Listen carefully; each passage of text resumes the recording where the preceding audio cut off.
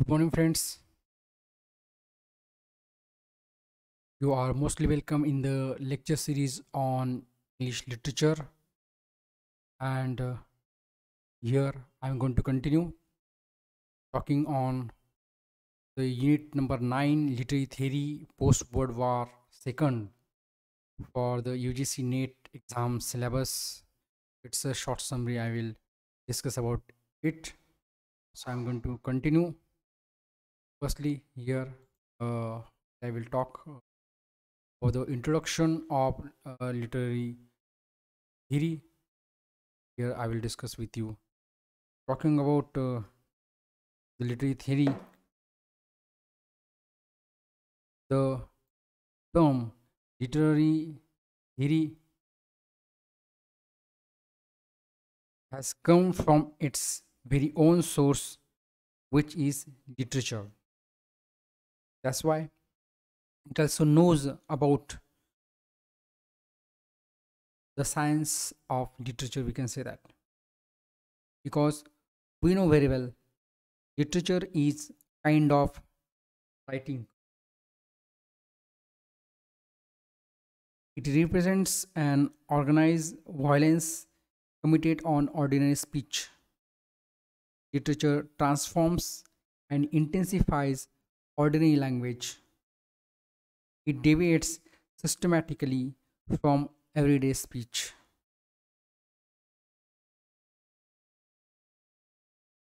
So, literary theory in the context of literature it is the set of broad assumptions or ideas about literature. These ideas act as different lenses used by critics to write and talk about literature, art, culture, forming a theoretical framework for analyzing literature.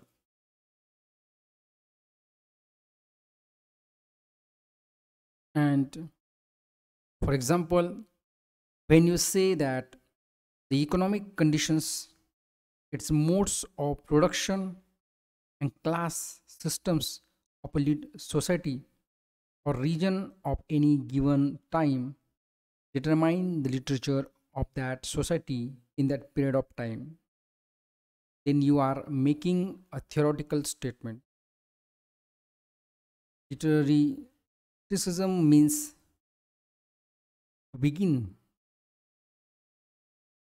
interpreting the work of art, literature, culture of any society, race, or the age of time or era of time from that theoretical perspective. Literary criticism is the science of forming and expressing correct judgment upon the value and merit of works of any art, form, literature, and culture. Thus, if the literary theory is the framework, then literary criticism is applying the theory in a framework. Critics and theorists of earlier times could be divided into two categories. First one is those writers or philosophers who wrote about poetry incidentally. Second one is poets who wrote criticism as the poet critics. In the first category, we find the philosophers and writers such as Plato, Aristotle, Immanuel Kant, Hegel, Hegel, sorry, Hegel, Thomas Aquinas, Longinus, Dante, and many others for whom literary criticism is incidental to their larger philosophical and political agendas. For them, the function of criticism was to give meaning to the invisible universe, support their respective worldview, After all, as God created, so as the poet, the theory of the creator. The creation was illustrated through what the poet did. The second category of the critics is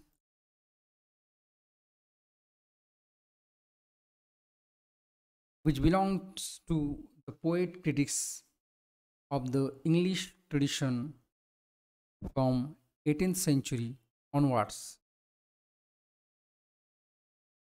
They used criticism to defend their kind of poetry. So thus there is a shift from the earlier function of criticism to defend poetry to an increased tendency to market certain kind of poetry. There were critics such as T.S. Eliot who talk about secondary approach in his essay that to criticize the critic Dryden, Wordsworth, Coleridge, Samuel Johnson, Matthew Arnold, and so on. So we should shortly talk about the earlier critics such as Plato. You know very well Plato was one of the greatest personality as a philosopher, as a writer, and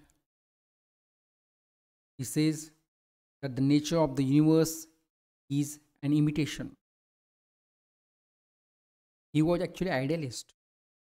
He believed that Reality consists of various layers, and the top layer of the reality is made up of ideas, and all the lower level imitate those upper. ideas. There was another greatest writer came to this field whose name is Aristotle. Aristotle thinks that ideas were implicit in things than existing outside of things. So as Pet, so as Plato, Aristotle sees art as imitative. He sees art as imitating essence rather than another writer was there, Longinus. Longinus feels that to write largely to refute Plato's disdain of poetry. Longinus' work on the sublime deals first and foremost with the idea of transcendence. But mm, but he was the first Longinus was the first to articulate the idea that great art comes from a great soul. Was another critic was there Aquinas. A Q U I N A S. He suggests that any passage could be read both literally and allegorically. But allegorically reading could be broken down into three types. First is allegory, second is moral, and third is anagogic. Next writer, Dante Alighieri. Dante, you know very well, famous philosopher is there. His work is important for a number of reasons. Number of reasons are there. First one is his attention to detail impressed the modernist. For example, T.S. Eliot and Ezra Pound. Both modernists strove to create works which could almost sorry which could also survive such close criticism. That's why dante also helped keep poetry alive to the middle ages. Was another one geoffrey chaucer. Actually he didn't write about criticism and theory his so many characters in his narrative poems talk about theory. For example, the wife of Bath is best example. there was uh, another writer, Philip Sidney. And uh, Philip Sidney work, An Apology for Poetry, is one of the best work for literary criticism. In this work, Sidney begins with some general statements about human culture. He says all human cultures are a blend of art and utility. Poetry is of prime importance in all cultures and in all times. He says that poetry is more important than mere philosophy, as it can steer men towards virtuous actions, and philosophy cannot. Means poetry is greater than philosophy. There was another wave of criticism after early critics, in which we find John Dryden is one of the most, and he was the founder of descriptive criticism in English. All English literary critics before Dryden were critics of the legislative or theoretical kind. For example, Gascoigne, Puttenham, Philip Sidney, Ben Jonson. Because Dryden first critical essay, The Dedicatory Letter, contains the germ of descriptive criticism. However, the first critical analysis of a literary work in the English was the examen. That's why there was his next literary work was so much famous, which title is the essay of dramatic poesy. After that, there was a writer Alexander Pope, and as a critic, he was not popular than as a poet, but he has pained E double N E D pained means to write something criticism. That's why there are is prominent literary uh, literary critical works such as Essay on Criticism, imitations of the epistles of Horace Augustus, his letters preface to his edition of Shakespeare's plays. Another writer, Paul Jones, he is one of the best writers. He has also written the grand literary criticism. For example, preface to the dictionary of the English language, preface to the plays of Shakespeare, lives of the poets, essays and articles contributed from time to time to the Rambler. That's why he is so called last of neoclassicists. Another uh, points related with the uh, the new wave of criticism, especially talking in Romantic age. In the Romantic age, the aristocracies that previously controlled Europe were falling, and the middle class was growing, and power was increasingly shifting to the common people. Makes perfect sense for Wordsworth and S.T. Coleridge's poetry. Their criticism about poetry, and it should be aimed at the common man rather than at educated aristocrats.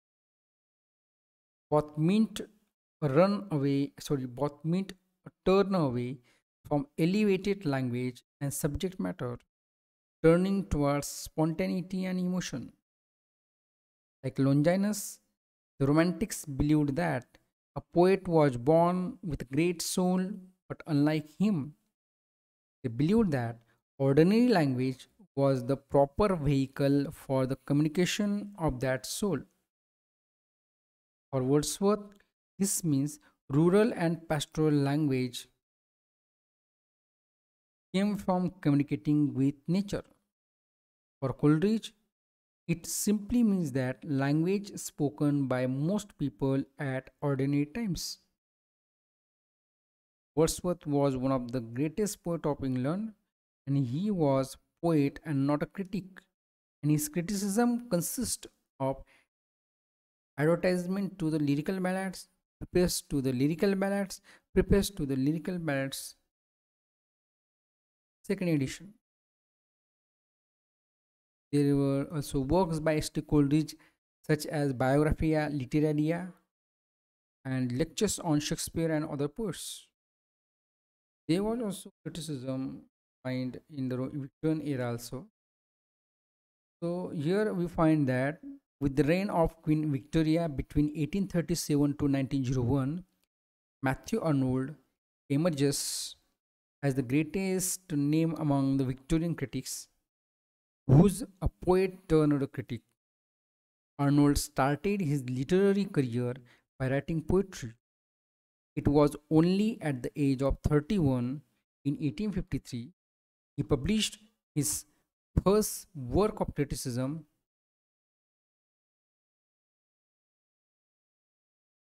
Here are his critical works such as the preface to the poems on translating Homer, essay in criticism on the study of Celtic literature. With the emergence of 19th and 20th century critics such as T.S. Eliot and I. Richards, who values modern poetry so much, so that T.S. Eliot claimed that his criticism was the byproduct of his poetry workshop. In his tradition and individual talent, he emphasized impersonality in art.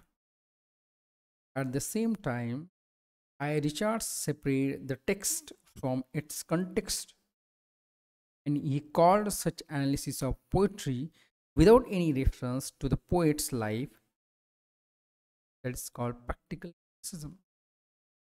Thus, during the middle of 20th century, there is cor- correspondence between literature and the new critical practices. Growth and evolution of literary modernism.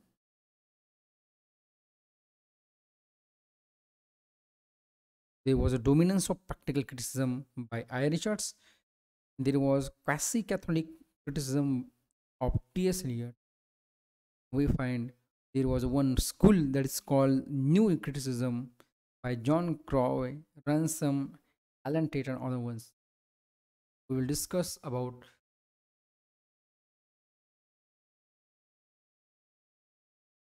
Russian Russian. So at the beginning of the 20th century, Russian formalism emerged. This was the group of Russian scholars. They expressed a set of interpretative principles, which is called Russian formalism. There were two distinct groups of Russian scholars. These two groups emerged in Moscow and Petrograd P E T R O G R A D. The practitioners for this school were Roman Jakobson, Jan Mukarovsky, Peter Bogatyrev, B O G A T Y R E V, G O Vinokur, and the Society for the Study of Poetic Language. And we find the personalities belong to society for the study of poetic language are Viktor V I K T O R Shklovsky S H K L O V S K Y Boris B O R I S Eichenbaum E I C H E N B A U M and Victor Vinogradov, V I N O G R A D O V. His two schools had changed the direction of literary theory and criticism. There are some assumptions related with this that they reject the belief yes, literary assumptions related with the Russian scholars, how the Russian scholars do for the Russian formalism. So these scholars reject the belief that the work of literature was the expression of the author's world. Rather, it is a self-enclosed, law-governed system. For these Russian scholars, a form is a superior to content. They reject they reject the irrelevancy of psychology and biographical criticism. They advocate a scientific approach to literature and poetic language as autonomous, having their own individuality as a discipline. These scholars focus on literary analysis and examination of text literariness. According to them, the language is an important part of formal studies divided into two parts primary order language and secondary order language. This difference between two languages is known as defamiliarizing. The term defamiliarizing is coined by Russian formalist Viktor Shklovsky. V I K T O R Viktor Shklovsky S H K L O V S K Y. School scholars is also called Russian formalists. And Russian formalists were suppressed in 1930 by the Soviet government because they were unwilling to view literature through Soviets' political perspective. Their influence continues to flourish in Czech, C-Z-E-C-H, Republic through the Prague Linguistic Circle. The leader of the Prague Linguistic Circle is Roman Jakobson. And with the advancement of literary theory and criticism, Russian formalism re-established its grip, its power in the 1960s in French and American structuralism. There were some works by the Russian formalists such as Language in Literature by Roman Jakobson, Fundamentals of Language by Roman Jakobson, Theory of Prose by Viktor Shklovsky, Art as Device by Viktor Shklovsky. There are some terms related with this theory also. That's mean semiology and semiotics. Swiss philologist and teacher Ferdinand de Saussure. Ferdinand F E R D I N A N D D D E Saussure S A U S S U R E he proposed a new science called semiology, S E M I O L O G Y. Semiology studies the concept of creating meaning through signs, S I G N S, in all social behavioral systems. Since language was the chief and most characteristic of all these systems, it is the main branch of semiology. All other sign systems were patterned after language because like language, signs are conventional and different. The meaning of signs are conventional and different. Ferdinand says that sign always need a signifier as a sign is dead alone and only the signified can control signifier. As signifier and signified are two parts of the sign only. A signified is a concept and signifier is a written or spoken mark. There is another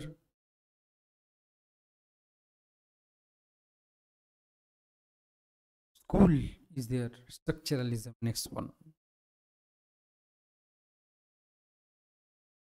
The studies of linguistic theories like Saussure, Peirce, P E I R C E, and many more were called structural semiotics, stylistics, etc. etc.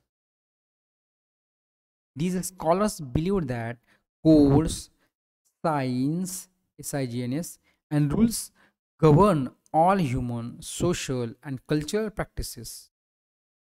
Thereby, structuralists wanted to discover these codes further.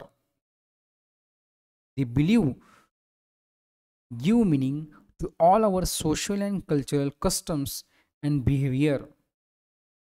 Only these meanings are an investigation of the systems behind these social and cultural practices and not the practices alone. Their aim is, their objective is to discover how all these parts fit together and function. Structuralists say that literature is a self-enclosed system of rules. This system of rules is composed of language. It does not needs it does not need any outside reference except its own rules. To them, the function of literary devices is of cheap importance and not how literary devices imitate reality or express feelings. They say that if you are reading a book, then refer it from outer world first to understand it clearly, though every reader has their own individual meaning. However, the overall meaning of the text should be there collectively and uh, and not separately. For example, there is no free existence of tea as we make it following a particular process.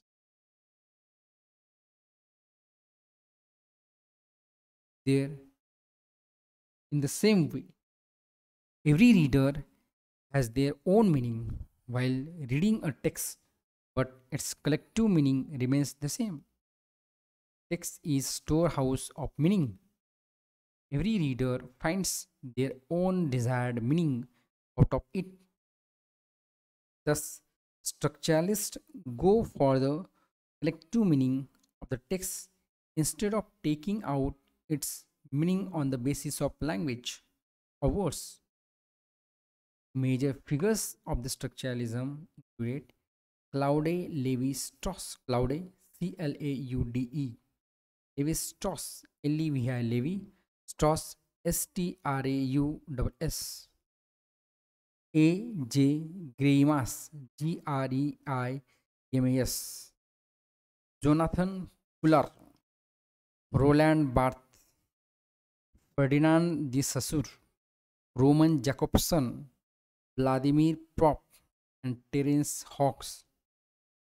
He was a French anthropologist Claude Lévi-Strauss discovered the myth Langue, L-A-N-G-U-E, and its overall structure. Langue and its overall structure allows individual examples to function and have meaning. Strauss, in his work Structural Study of Myth,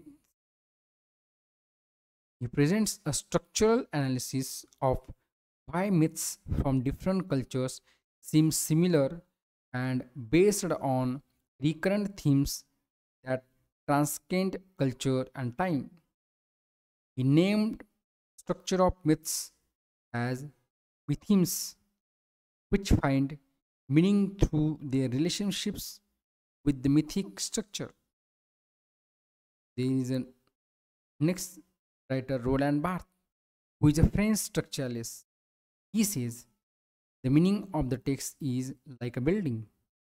A writer tries and give meaning to the text, but it's the reader who has to analyze the text and find the meaning. His contribution to the structuralist theory is best summed up in his text S oblique Z, expanding Levi-Strauss' linguistic model of myths. Group of structuralists called narratologists began structuralist narratology, science of narrative.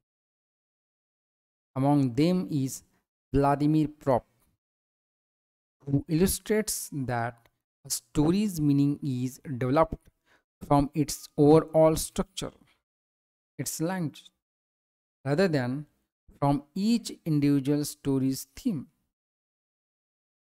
By the mid 1970s, Jonathan Culler, professor who is a professor of English and comparative literature at Cornell University, he became the voice of structuralism in America and took it in yet another direction. In his work, Structuralist Poetic, Structuralism, Linguistics, and the Study of Literature, he declares that the linguistic models used by narratologists,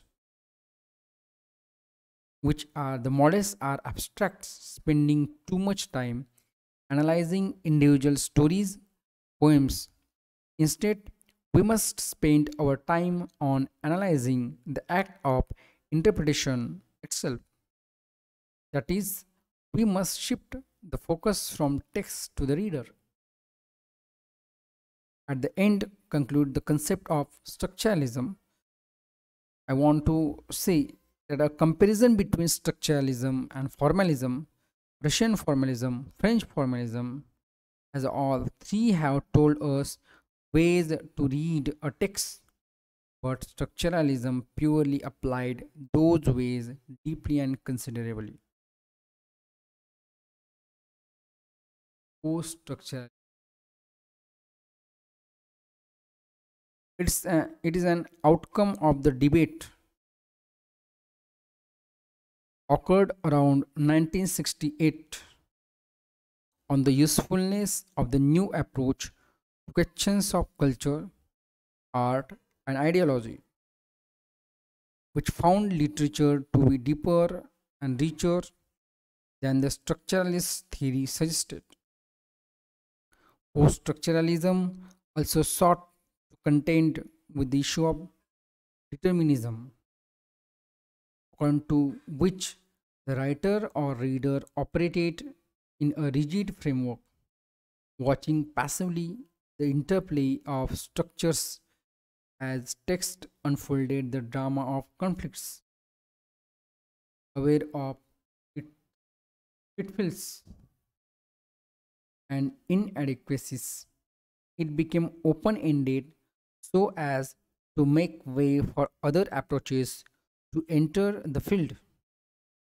According to post structuralism, as time is continuously changing, so all the reading is misreading and all interpretations are misinterpretations. This statement is given by Jacques Derrida.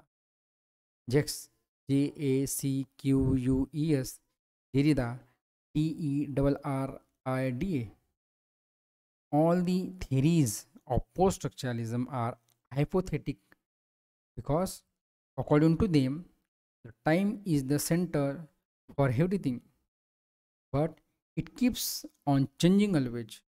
Therefore time has no meaning and it is abstract. Rather there is meaning in meaninglessness. There is the next concept deconstruction.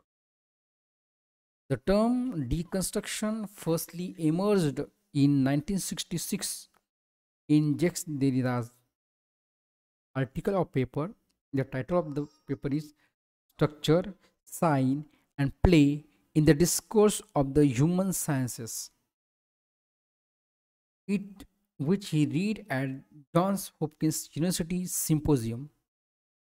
French philosopher and teacher Jacques Derrida borrows and amends this word from the work of German philosopher Martin Heidegger. Basic problems of phenomenology. Derrida borrows the concept of Saussure that meaning in language is determined by the differences among the language signs and use it as a key building block in the formulation of deconstruction. He agrees with Saussure that one can know the meaning of signifiers and signified because of their relationships and their differences among themselves, which is arbitrary conventional. Terms by X. Derrida,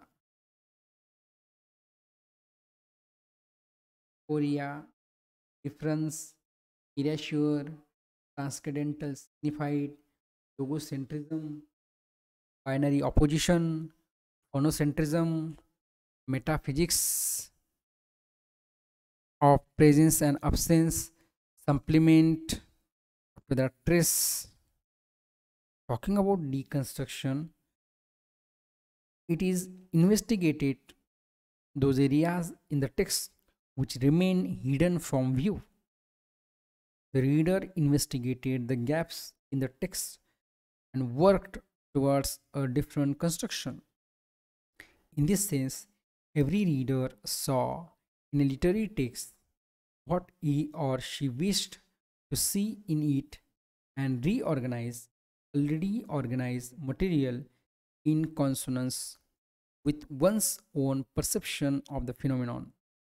In simple words and easy words, we can say that every reader constructed one's own version of a text by questioning and rejecting the author's construction.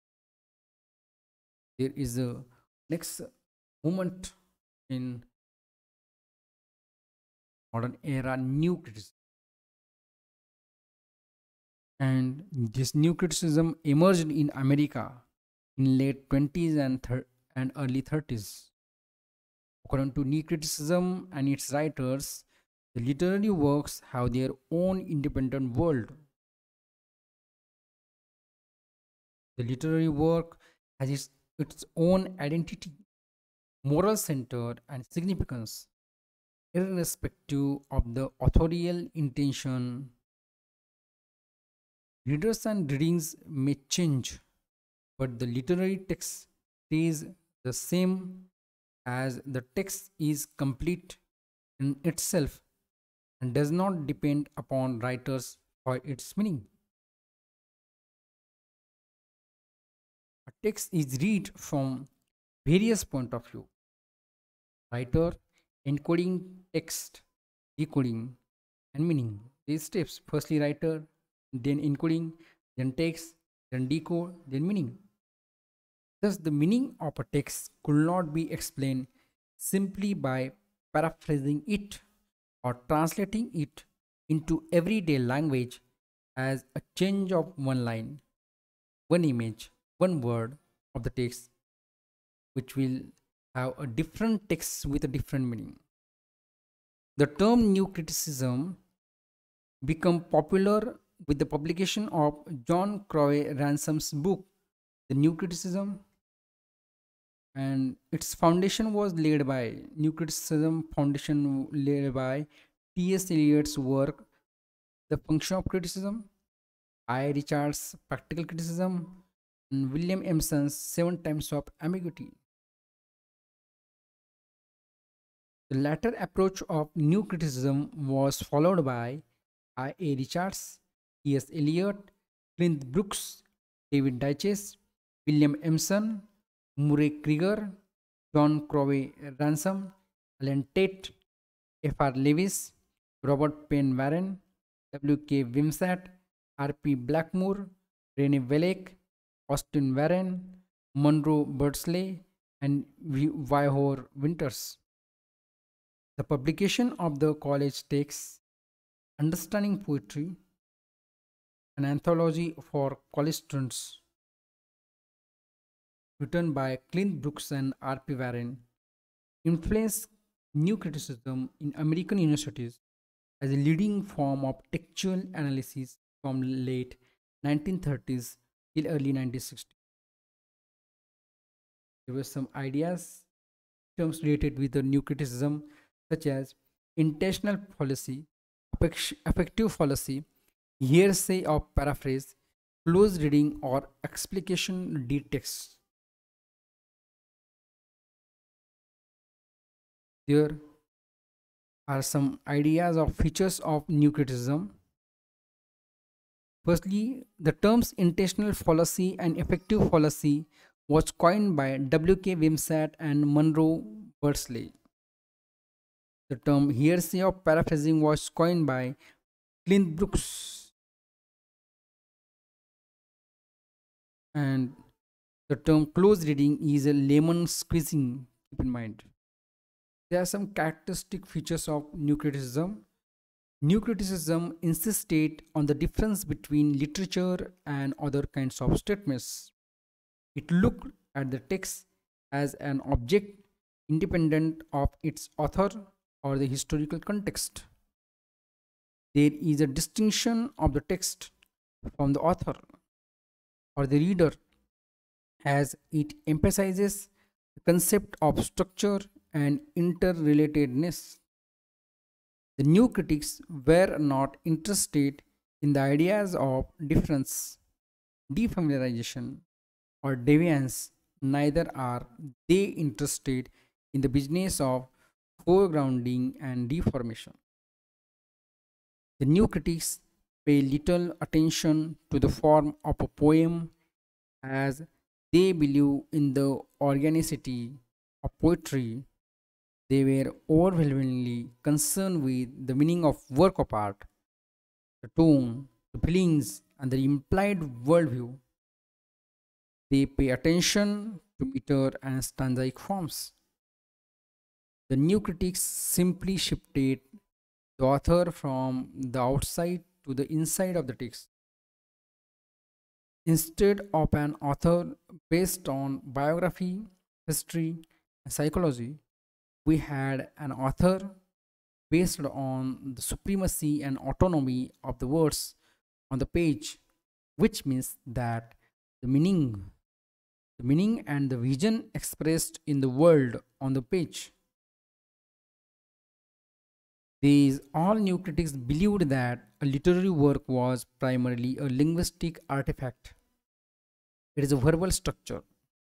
It was a co it was a mode of communication between the artist and the reader.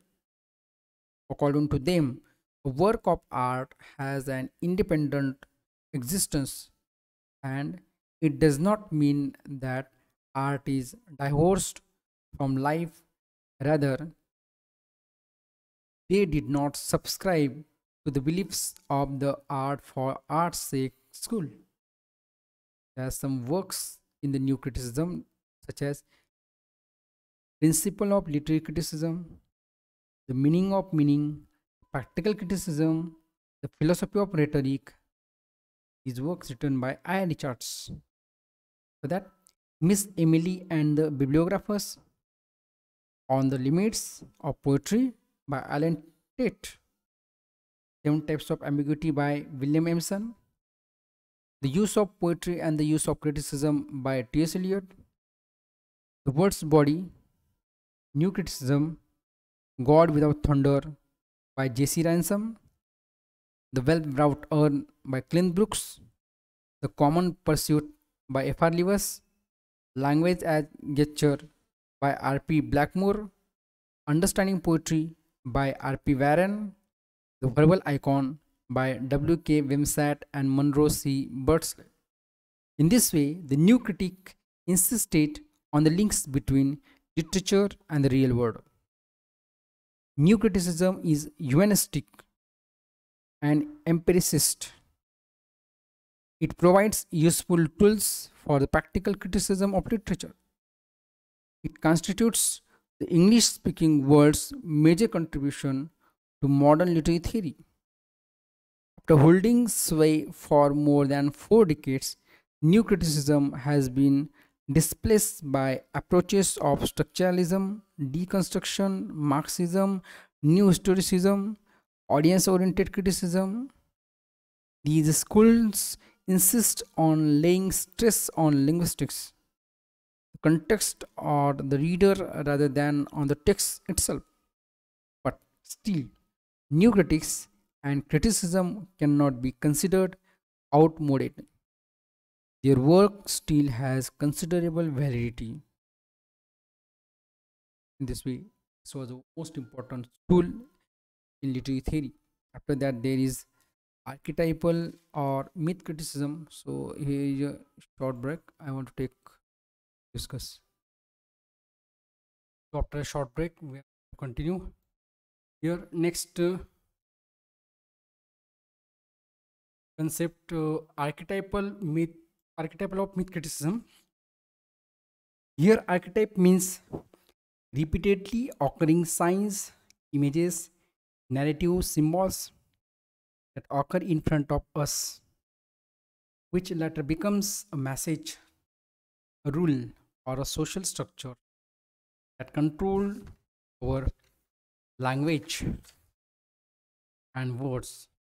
For example, night is related to evil, bad, inauspicious.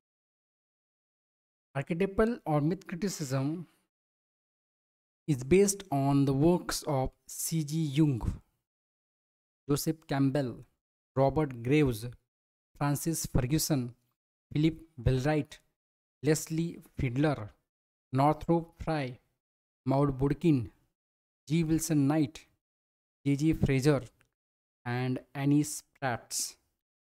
Frye sees archetypes as an recurring patterns in literature, but Charles Jung sees them as primordial images that get stored in our unconscious mind. There are key terms related with archetype criticism, such as anima, animus, shadow, collective unconscious. Some works are there Anatomy of Criticism by Northrop Frye, The Hero with a Thousand Faces by Joseph Campbell, Archetypal Patterns in Women's Fiction by Annis Pratt, The Golden Bough by J.G. Frazer. This is another uh, school in the history of literary theory. The next one, psychoanalytic crit- criticism. We find that Peter Barry, in his book Beginning Theory, he defines that psychoanalytic psychoanalytic criticism is a form of literary criticism. It uses some of the techniques of psychoanalysis in the interpretation of literature. Psychoanalytic critic unravels the unconscious elements in the minds of the author study the creative process used for works of lit- and effects of literature upon its readers. There are ma- major figures or personality in this system, such as Sigmund Freud, Jacques Lacan, Shoshana Felman, Jane Gallop, Norman Holland, George Klein, Elizabeth Wright, Frederick Hoffman, and Simon Lesser. So there are some ideas and terms presented by Sigmund Freud such as id, ego, superego. Id represents unconscious, ego represents subconscious, and superego represents conscious. There are also some ideas presented by Jacques Lacan such as imaginary, symbolic, real. This work, The Interpretation of Dreams by Sigmund Freud, The Four Fundamental Concepts of Psychoanalysis by Jacques Lacan.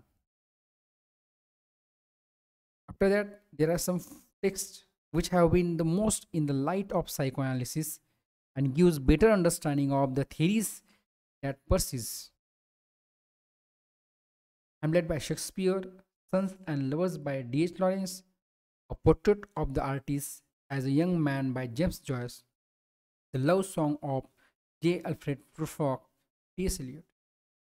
Both Freud and Lacan are deals with identity, growth, sexuality. Lacan adds a linguistic dimension to Freud's insights. The unconscious is crucial to the thought of both thinkers. Thus, the use of psychoanalytic concepts is not limited to one literary genre or one artistic medium. Any human production that involves images that seems to have a narrative content or that relates to the psychology of those who produce or use it can be interpreted using psychoanalytic tools. There is the next school, that one is uh, reader response theory, which is also called reader oriented theory. And the role of the reader for literary work or performance has been always recognized since classical we know very well. But reader response theory is a renewal of a long and diversified tradition. These, this long and diversified tradition acknowledged the importance of reader or audience in the overall structure of any literary or rhetorical work. Reader response theory was traced initially with theorists. For example, I.A. Richards, Louis Rosenblatt, Stanley Fish, Wolfgang Iser, Hans Robert Jauss. I. Richards believes that there is a significant relationship between readers' personal feelings and interpretation of the text. Textual analysis, or we can say by closely examining the text, a reader can arrive at a better interpretation of the text rather than by personal responses to the text. A reader brings to the text infinite ideas through life's past and present experiences. Those past and present experiences help to develop the interpretation in the form of a reality check for the reader later whether those experiences are validated or negated that does not matter at all. This truly helps a reader to become an active participant in creating the meaning of the text. According to Stanley Fish, text does not contain any meaning, rather, it is created within the reader's experience. The reader's activities and experiences should be the center of attention. Considering other approaches to literary analysis, reader response theory or reader oriented criticism does not provide a simplified body of theory for textual analysis. Those who call themselves reader response critics or audience oriented critics share concern for the reader. In this way, these critics, in a unified way, believe that interpretation of the text can be done when both the reader and the text transact with each other properly and not on individual basis solely. That is, reader plus text equal complete meaning. When a reader is actively involved in the reading of the text, only then proper meaning interpreted out of it. I.A. Richards only I Richards only focused on the text or we can say for him the text is primary and the reader is secondary. Stanley Fish focused on the reader because for him the reader is primary and the text is secondary there are some texts related with the reader response theory such as the principles of literary criticism practical criticism how to read a page by i. Richards. Literature as exploration or the reader. The text the poem the transactional theory of the literary work by louis rosenblatt. Is there a text in this class? The authority of interpretive communities. Surprised by sin the reader in paradise lost, self consuming artifacts, the experience of the 17th century reader, Fish, The Implied Reader by Wolfgang Iser, Toward an Aesthetic of Reception by Hans Robert Jauss, Aesthetic Experience and Literary Hermeneutics by Hans Robert Jauss. There are some key terms and their founders. Term Horizons of Expectation founded by Hans Robert Jauss, Interpretive Communities founded by Stanley Fish, Transactional Analysis founded by Louis Rosenblatt. There is another tool is there phenomenology, which is also very important. Phenomenology is a philosophical method. It was developed by Edmund Husserl. It was proposed phenomenolo- phenomenological reduction according to which everything which is not pervasive or eminent to consciousness must be excluded. Husserl, H U S S E R L, viewed that the act of consciousness, the thinking subject and object intents are inseparable. Art is not a means of securing pleasure, but a revelation of being. Phenomenology is the important. thing. The work is the phenomenon by which we come to know the world. When the reader and the text transact with each other, meaning was created. Then the meaning exists in the consciousness of the reader. According to German critic Hans Robert Jauss, phenomenology is important that the social history of the text must be considered before the interpretation of the text, as each historical period establishes its own horizon of expectations. Overall meaning of the text is not fixed or universal.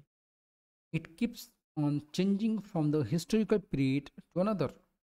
Thus, final assessment of any literary work becomes impossible. According to German critic Wolfgang Iser, any text, poem, or an object does not achieve meaning till a conscious recognizes or registers the object. Thus, object and human consciousness are inseparable. Iser says that there are types of readers, namely implied reader, actual reader. There are works such as Origin of Expectations by Hans Robert Jauss, Implied Reader and Actual Reader by Wolfgang Iser. There are some critics related with phenomenology such as Georges Poulet, Wolfgang Iser, Hans Robert Jauss, Roman Ingarden, and Gaston Bachelard. The short term hermeneutics, H E R M E N E U T I C S. Hermeneutics deals with the meaning hidden beneath the layers of meaning itself. An interpretation of these meanings only will lead to the original meaning. Hermeneutics is a term coined by the French philosopher Paul Ricoeur. Paul P. Paul P A U L Paul Ricoeur R I O E U R. In his book Freud and Philosophy, an essay on interpretation. In this book, Paul interprets Sigmund Freud's work in terms of hermeneutics. There is a next, uh, uh, the next criticism, critical school that is a feminist criticism. Important and uh, find that Simone de Beauvoir, uh, she says in the in her book The Second Sex, to emancipate women is to refuse confine her to the relations she bears to man. Feminist literary criticism is significant and its development in literary studies started in the second half of the 20th century. It advocates equal rights for all women socially, politically, professionally, economically, psychologically, and in many other areas of life. Throughout the centuries, other female voices articulated the Rights of women acknowledged as scholars, artists, writers, etc. One such voice was Aphra in the 17th century. Aphra is the first professional female writer, dramatist, poet, and novelist of the Restoration period. It was she who earned the women's writers' right to speak their own minds. Unlike most writers of her time, she used her fiction to bring to the forefront and analyze uh, women's sexual desires directed towards both males and females. Some of her published dramas, which paved way for the British Romantic movement, are uh, example, The Amorous Prince, Poetry, Oroonoko, O R O O N O K O, is one of the best work. Raban. In the late 1700s, another powerful female voice arose opposing continued patriarchal belief was Mary Wollstonecraft. Her first major work acknowledging women's struggles for equal rights was A Vindication of the Rights of Women, which appeared in 1792. Wollstonecraft tells women to define themselves and take a lead of who they are, what role they will play in society by rejecting the patriarchal system of showing women as inferior to men. There is another uh, feminist writer is Virginia Woolf, who wrote A Room of One's Own. Fine. After that, there is Simone de Beauvoir, who wrote The Second Sex. The Sex is the fundamental work of 20th century feminism. The text asserts that French society is patriarchal, was controlled by males, since the female is not male. Beauvoir states that she becomes the other object whose existence is defined interpreted by the dominant male. She women break the bonds of their patriarchal society, define themselves significant human beings like the male members of society and reject being labeled the others. Ahead, ahead we find kate millett is one of the important writer in feminist criticism. She wrote uh, the work sexual politics yes it is a new wave of feminist feminism begins. She asserts that a female is born but a woman is created. Consciously or unconsciously women and men conform to the societal constructs established by society. Yes and uh, Millett uh, calls sexual politics. Thus women must disenfranchise the power center of their cultural male dominance and shape the female articulate discourse and theories. There is another writer ellen showalter. Uh, ellen showalter is the leading voice of feminist criticism throughout the late 1970s Uh, she wrote a work a literature of their own British women novelists from Bronte to Lessing. In it, she chronicles three historical phases of female writing. First, feminine phase, second, feminist phase, third, female phase. Uh, so these were there, and uh, ahead we find that uh, it, she uh, she wrote uh, uh, an essay toward a feminist poetics. In it, she asserts that feminist theorists must construct a female framework for the analysis of women's literature for the development of new models based on the study of female experience. Through gynocriticism, Showalter, Showalter mm, exposes the false cultural assumptions and characteristics of women depicted in canonical literature. Gynocritics and gynocriticism provide four models. Yes, these four models address the nature of women's writing. The four models are example biological model, second one linguistic model, third one psychoanalytic model, last one cultural model. Uh, in this way, uh, feminist theories begin as a manifestation of an uh, ongoing dialogue between women and men. Revolutions that make feminist theories possible does not always happen in the public domain. Education, history, and literature are public institutions. They have belonged to men for much longer than to women. Uh, feminist literary theories identify the uh, gender biases of literature. Thus, uh, uh, they also help both women and men defeat these biases by reading against them. The argument is not so much between women and men as it is between feminist and anti-feminist. One pair of components recurring in feminist theories is that of sex and gender. Patriarchy is the ideology committed to male supremacy. It is combated by feminist theories. theories. Feminist theories show up gender biases in the reading and writing of literature.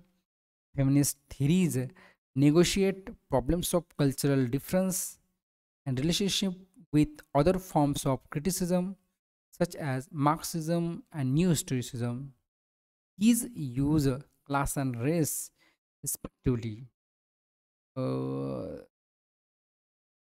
so, it uh, we find that uh, so there are some French feminists of 19th century in French fiction. Julia Kristeva is there. Helen Cixous is there. Helen H E L E N E Cixous Cixous uh, C I X O U S. Uh, there is uh, another. Um, um, there is uh, another uh, school. That one is cultural materialism. So we will cultural materialism. Materialism. Mm, cultural studies developed in Britain around the 1950s as a reaction against liberal humanism and orthodox Marxism. It was influenced by literary studies of Matthew Arnold. Uh, Arnold uh, moved from literary studies to culture studies. He wrote Culture and Anarchy. Culture and Anarchy give importance to the elite culture. This continues to be important in works of F.R. Leavis, uh, great tradition written by F.R. Leavis. It defines the greatest works of European literature. Uh, Leavis uh, defined value in culture, rejecting the popular culture of capitalism and colonialism. After them, there was Richard Hoggart and Raymond Williams, who talks about culture studies. Uh, there is the Center for Cultural and Community Studies, CCCS, it was uh, set up in Birmingham in 1964 by Richard Hoggart and Stuart Hall. Raymond, uh, yes, and Raymond Williams founded it. Uh, Will, uh, Raymond Williams pioneered pioneered new approaches to culture. Cultural studies have major influences of Richard Hoggart's book, The Uses of Literacy, Aspects of Working Class Life and culture and society um, after that the long revolution by uh, raymond williams. Um, in the late 1990s there was a restructuring of the university which led to the elimination of uh, cccs cultural materialism is a method of criticism. It is rooted in marxism which stresses the interactions between cultural artifacts with their historical context. Uh, there are five types of culture studies. Uh, for example, uh, British cultural materialism, first type. Second, new historicism. Third, postmodernism. And uh, next one, popular culture. And last one is post-colonial studies. Uh, so there are some key points talking about uh, this. Antonio Gramsci, yes, Antonio Gramsci introduced the concept of cultural hegemony. Stephen Greenblatt, is a Renaissance scholar. He coined the term New Historicism. Uh, pioneers of culture studies are Richard Hoggart, E. Thompson, Raymond Williams, Stuart Hall.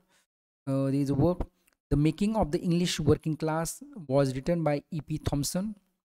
Uh, Raymond Williams talked about three types of culture in his book, The Long Revolution. Yes, these three types of culture are first one is dominant culture, second residual culture, third emergent or oppositional culture.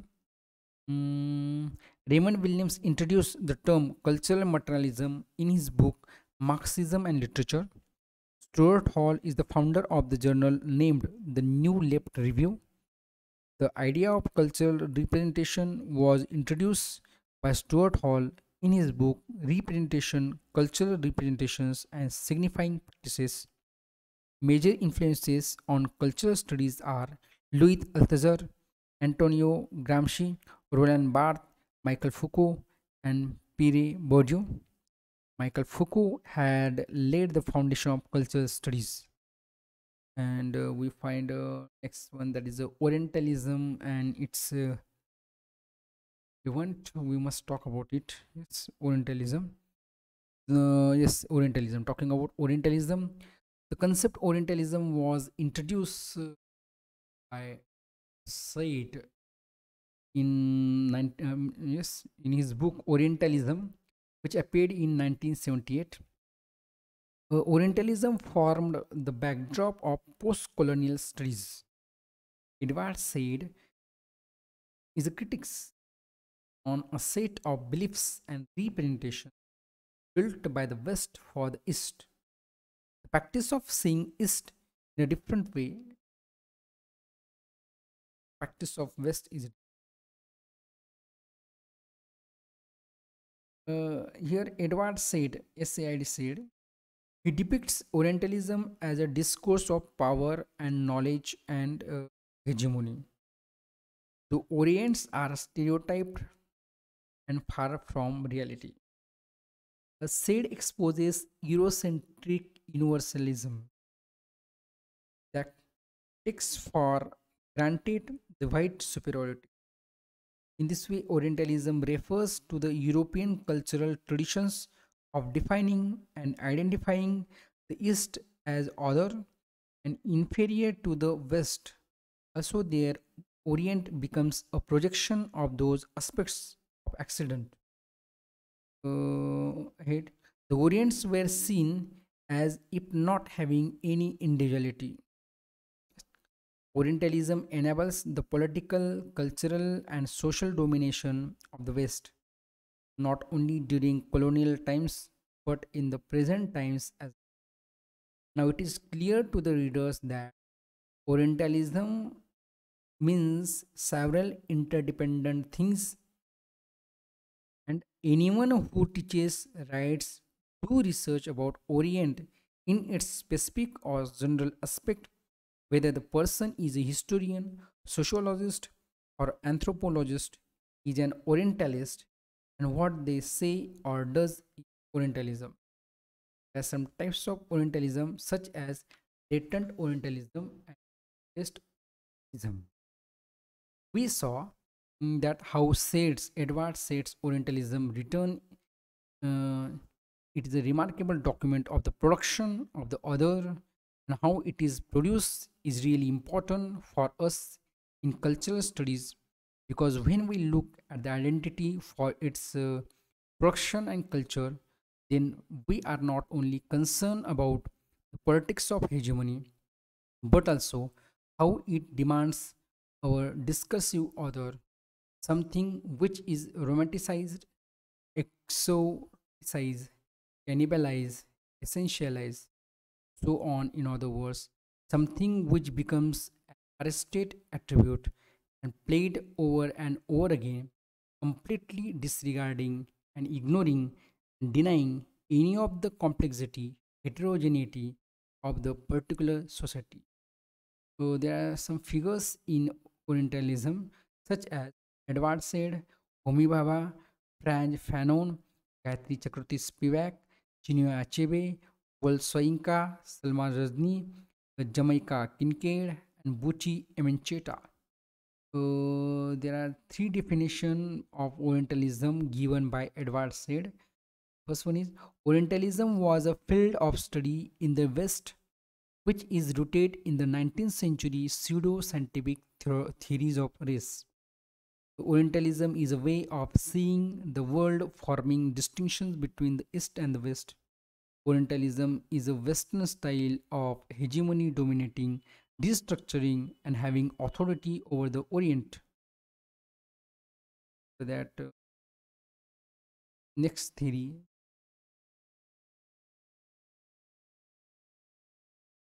Marxist theory, Marxism.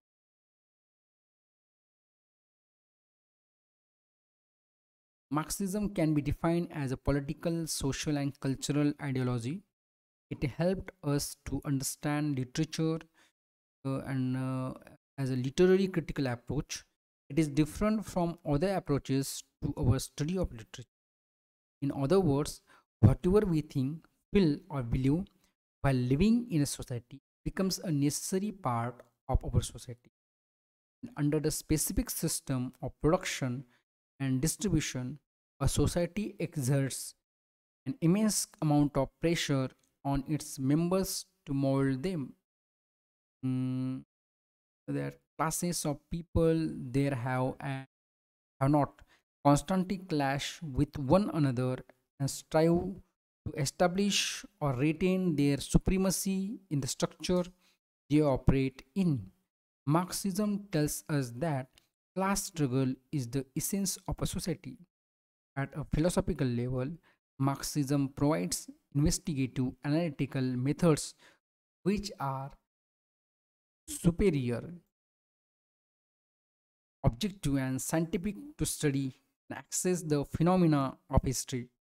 Marxism makes us aware of this fact that society is a living entity having constantly changing realities and growth and development are the outcomes of important conflicts taking place between groups sections and classes of people and uh,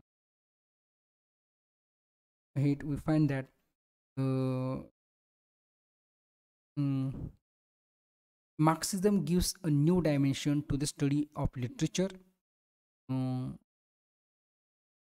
with its help, we comprehend the relationship between a writer and society. Marxism has also helped literary criticism in evolving new materialist concepts of nature, uh, concepts of culture, ideology, realism, modernism, political unconscious, with which it effectively countered the onslaught of bourgeois theorists. Marxist criticism also tells us about the need to combine the efforts of the writer and the reader around a literary work. Marxist literary theory has its roots in the 19th century writings of German social critic and philosopher Karl Marx and Friedrich Engels. But Marxist theory or literary criticism does not develop until the 20th century. Using Karl Marx's philosophical assumptions, 20th century critics developed Marxist approaches into textual analysis that focuses on the study of the relationship between a text and society which reads with. There are some key terms related with Marxism such as dialectical materialism, commodification, conspicuous consumption, material circumstances, reflectionism, vulgar Marxism, superstructure, and base. There are some major figures in Marxism, such as Karl Marx, Friedrich Engels, Terry Eagleton, Fredric Jameson, Raymond Williams, Louis, uh, Louis Althusser, Walter Theodore Adorno, Edward Ahern, Gilles Deleuze, and Felix Guattari. Two major works of Karl Marx and Friedrich Engels are The German Ideology and the Communist Manifesto. There is another work, Das Kapital by Karl Marx. After that, Marxism and Literary Criticism by Terry Eagleton. Literary Theory and Introduction by Terry Eagleton. On Evil by Terry Eagleton. Uh, Antonio Gramsci coined the term cultural hegemony. There is the next uh, term that one is uh, post-colonialism. Talking about uh, post-colonialism, yes, we must talk about that. Uh, talking about the post-colonialism, we find that the historical development of post-colonialism, yes, so post-colonialism developed from a 4,000 year old history of restrained cultural relations between the colonized Africans, Asians, and the Western world as colonizers. Using the political and economic powers, Great Britain, the main imperialist power of the 19th century, dominated her colonies, colonies, making them produce for them and eventually gave all their powers to the British. By the early 20th century, England's control over the colonies began to disappear. That is, decolonization has started. This event marks the beginning of post colonialism or Third World Studies. Thus, in 1950s, with the independence of India, there is also the ending of France's long involvement in Indochina. Speech of Fidel Castro's History Shall Absolve Me. The publication of Fran, Frantz Fanon's Black Skin, White Mask, and Chinua Achebe's Things Fall Apart Now, after discussing about post-colonialism further, we can mention about what the writers and thinkers think about its existence. Writers such as Toni Morrison, Alice Walker, Gayatri Spivak, Gabriel Marquez, Carlos Flynn, Fiennes, Edward Said, Frantz Fanon, Judith Butler have spoken about the dominant cultures. They continue to remain loud about not one culture but many cultural uh, perspectives along with countless interpretations of life. They had spoken about the oppressed, suppressed, and mute ones by making themselves heard among the dominating and overpowering cultures, refusing cultural hegemony in the very existence of society. There are some works related with uh, post-colonialism, such as The Wretched of the Earth by Frantz Fanon, Orientalism by Said. Third world studies is a term uh, which was coined by French demographer Alfred Sauvy, C-U-V-Y. There are some uh, post-colonial theories, terms are alterity, diaspora, Eurocentrism, hybridity, imperialism. And then last one, uh, talk uh, the new historicism. New historicism is not a repeatable methodology or a literary critical program, so we sincerely hope you will not be able to say what it all adds up to. If you could, we would have felt the roots of new criticism, sorry, new historicism were established uh, since uh, the Renaissance period, as during that period there are various shifts in the Western theory of knowledge. This era of historical development offered a repository of cultural dialogue about the relation between history and literature. Though no one can give a brief history of the development of new historicism, its American form begins to germinate in the late 1970s and early 1980s, especially with the publication of Stephen Greenblatt's Renaissance Self-Fashioning from More, More to Shakespeare. Louis Montrose essay Eliza Queen of Shepherdess in the Pastoral of Power. Apart from Stephen Greenblatt and other major figures and prominent influences include Clifford Geertz, Louis Althusser, Michael Foucault, Michael Bakhtin, Louis Montrose, Catherine Gallagher, Jonathan Dollimore, and Jerome McGann. Further, uh, we can discuss some of the among them. Uh, Stephen Greenblatt, uh, who wrote uh, the book Renaissance Self Fashioning from More to Shakespeare. Uh, in it, uh, Greenblatt uh, analyzes the writers such as Thomas More, William Tyndale, Thomas Watt, Edmund Spenser, and Christopher Marlowe. Uh, uh, in it, uh, uh, it uh, in his essay towards a poetics of culture, uh, Greenblatt uh, uh, highlights how new historicists read and view literature in relation to culture and society. Uh, using the ideas of two post-structuralist critics, Jean-François Lyotard, Fredric Jameson, Greenblatt asserts that art and society interrelated and individually both of them cannot be used as it is a complex web of interrelationships since art reflects society vice versa. Thus, the new historicism viewed as a reading practice, not a school of criticism In 1988, Greenblatt expands his ideas in his text Shakespearean Negotiations, in which he develops a new term for new, criti- new historicism as cultural poetics, which combines the developing theory better than the term new historicism. There is another one uh, is Louis, uh, Louis Montrose, who wrote essay A Midsummer Night's Dream, shaping fantasies, figurations of gender and power in Elizabethan culture. Uh, after that, there is another one essay professing the uh, Renaissance, poetics and politics of culture. There is the another writer, new uh, another new historicist whose name is Michael Foucault. He says history is not linear, or in other words, we can say that it does not have a definite beginning, middle, and end, nor it is philosophical, which means it does not take towards a known end. For Foucault, uh, uh, for Foucault, history is the complex interrelationship of a variety of discourses about which people think, discuss, and talk. He says, Foucault says that there is a disorderly order in discourse and structure of power in society is expressed through the knowledge and practice of the language. Everything that communicates is discourse, whether they are symbols, signs, acts, behavior, spoken language, words, conduct. There is a coded uh, pattern of communication, but it has no structure.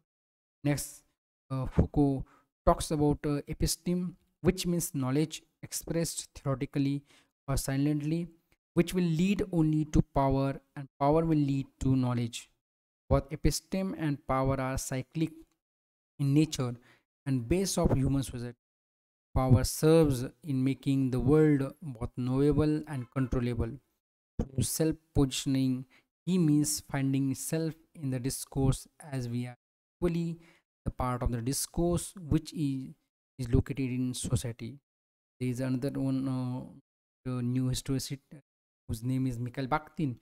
Uh, he wrote uh, the work The Dialogic Imagination, Chronotope, and Heteroglossia, in which he says he introduces the concept of heteroglossia. Heteroglossia means the coexistence of varieties in a single language. Uh, there is another uh, term, dialogism, chronotope. Yes, this terms he has uh, explained. Since texts are one among many elements which help to shape the culture. Thus, critics of New Historicism believed that all the texts are social documents to reflect upon and respond back to their historical situations, and these situations were an intricate web of discourses. Because any interpretation of a text would be incomplete if we do not consider its relation with the discourse, which eventually helped in using it more and more. Thus, a text becomes a battleground of competing ideas among the authors, society, institutions, and other social backgrounds. Therefore, New Historicism holds the interconnectedness of all our actions, and through its multiple approaches to textual analysis, it makes us hear many silenced voices of the past much louder and clearer. 8 9 literary theory post world war second yes in syllabus of NTA, UGC, NET exam. So yeah, to stop. Thank you. See you.